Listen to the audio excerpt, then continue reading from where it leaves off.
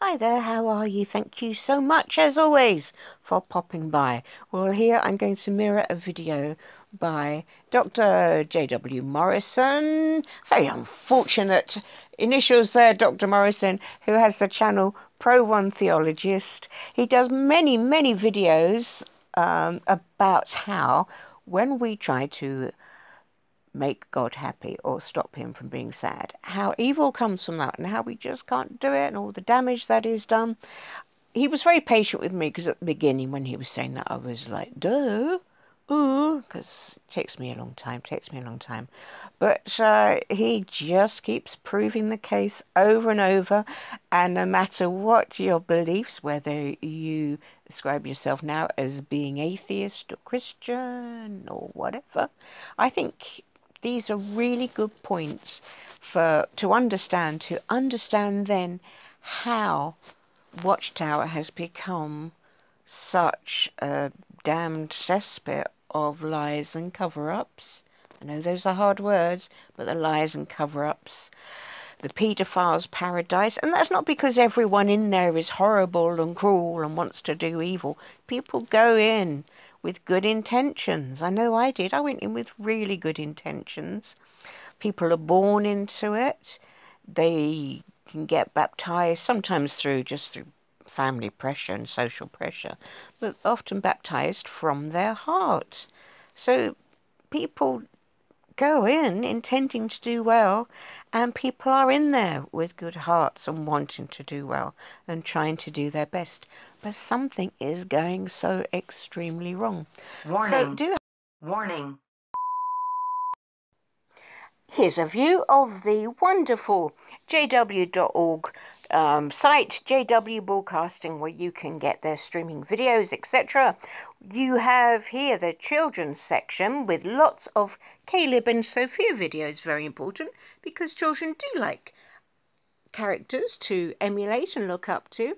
There are examples here where children can make God happy or stop him from being sad. You have in the middle there the title Make Jehovah Happy. On the left, Be Good in the Ministry Sorry about the watermark covering everything. I shall sort that in the future. So when you're good in the ministry, you make Jehovah happy. You've got on the right there. Love Jehovah's house. Uh, be humble in the middle. When, when you're humble, you make Jehovah happy. If you're arrogant and boastful, you can make him sad. Got to appreciate the ransom. Um, Jehovah's name, uh, keeping that high. Be appreciative. That's going to make Jehovah happy. Be generous will make Jehovah happy. So you can see lots of examples that are given to children. So on the whole, have a look, please. That's what Dr. Morrison is saying. And uh, on his own links and copy there because that's the most important thing.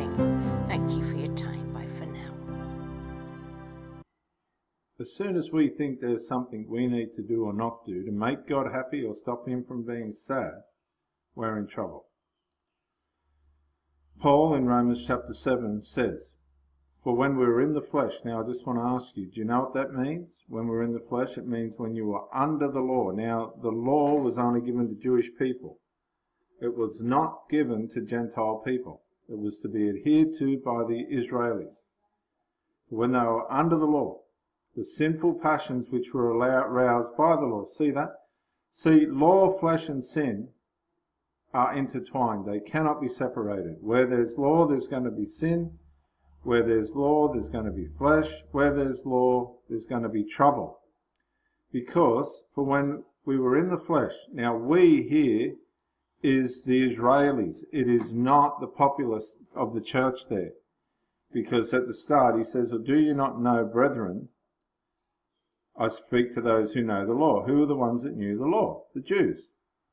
So the we here in Romans 7 verse 5 is specifically speaking about the Jewish believers who are trying to transition from keeping the law to following Christ, which was very, very difficult and for some impossible. For when we, the Jewish believers, were in the flesh, the sinful passions which were aroused by what? By the law.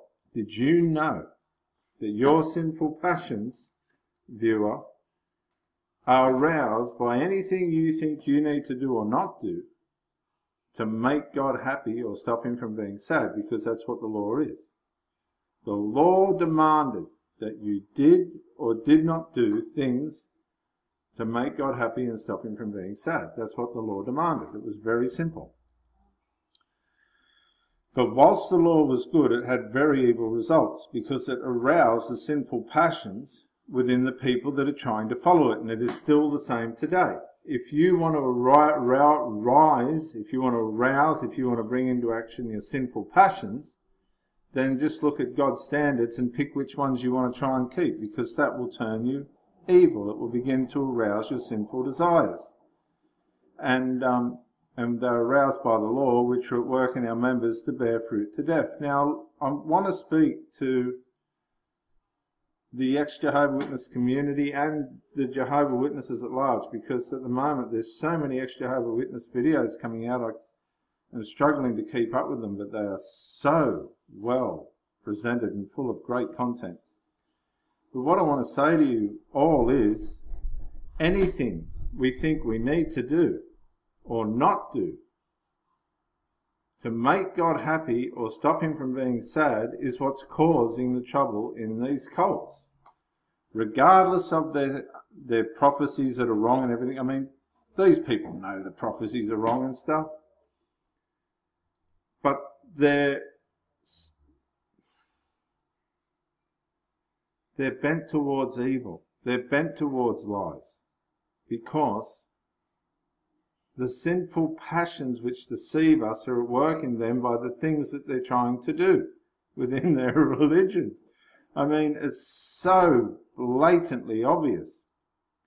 But now we have been delivered from the law. See, we're supposed to have been, and he's again, he's speaking to Jews. We've got nothing to do with the law.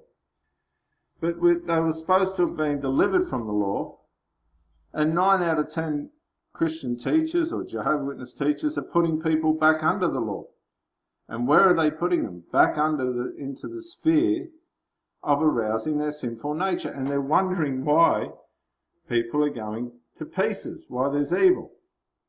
Because having died to what we were held by, so that we should serve in the newness of the Spirit, not in the oldness of the letter. See, so I keep saying it and saying it and saying it and saying it and saying it and saying it and saying it and saying it.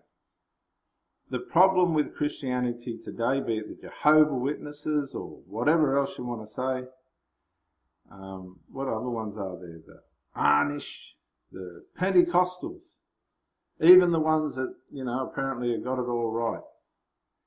Anything you think, I mean anything you think you need to do or not do, to make God happy or stop him from being sad is an undermining of the finished work of Christ. Because therefore, my brethren, 7 verse 4, you also have become dead to the law. How? Through the body of Christ, which means the finished work of Christ was all sufficient for time and eternity to have resolved all our issues between ourselves and God.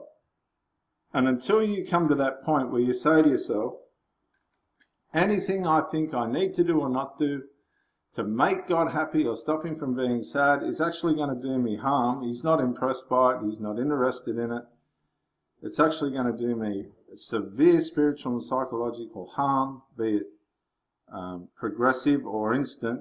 Um, anything you think you need to do or not do to make God happy or stop him from being sad any of those demands that you put on yourself are doing you harm. And until you can come to that place where you fall at the cross or the stake and say, I've had enough, I'm done, you will struggle and you will watch others struggle and it will be a cycle of harm, destruction, disappointment, and death. See, the, the thing is, they're trying to put God first. They're trying to put Jehovah first. You can't. You can't. You're kidding yourself if you think you are. You put Jesus first and let the rest sort itself out. And when I say you put Jesus first, you go, right, what Jesus has done is enough. For time and eternity, all my issues are resolved. There's nothing more I need to do. Thank you. It is done, it is finished, it is over, and get on with your life. Get out there and get on with your life. This is Dr. Jason W. Morrison, theologist, New South Wales, Australia. Bye for now. Yeah, Dr. Jason Morrison, theologist again. I just want to say thank you for watching the videos and I uh, hope you got plenty of uh, self-rediscovery and freedom out of it. If you watched it on YouTube, please share or like, um, maybe even comment. If you watched it on Facebook, like, comment, share. Um, but most of all, get out and live. This isn't a rehearsal. You've got a one-off life. Don't let your loyalty and your faithfulness blind you to the life that you should be experiencing. Till the next video, thank you for watching and bye for now.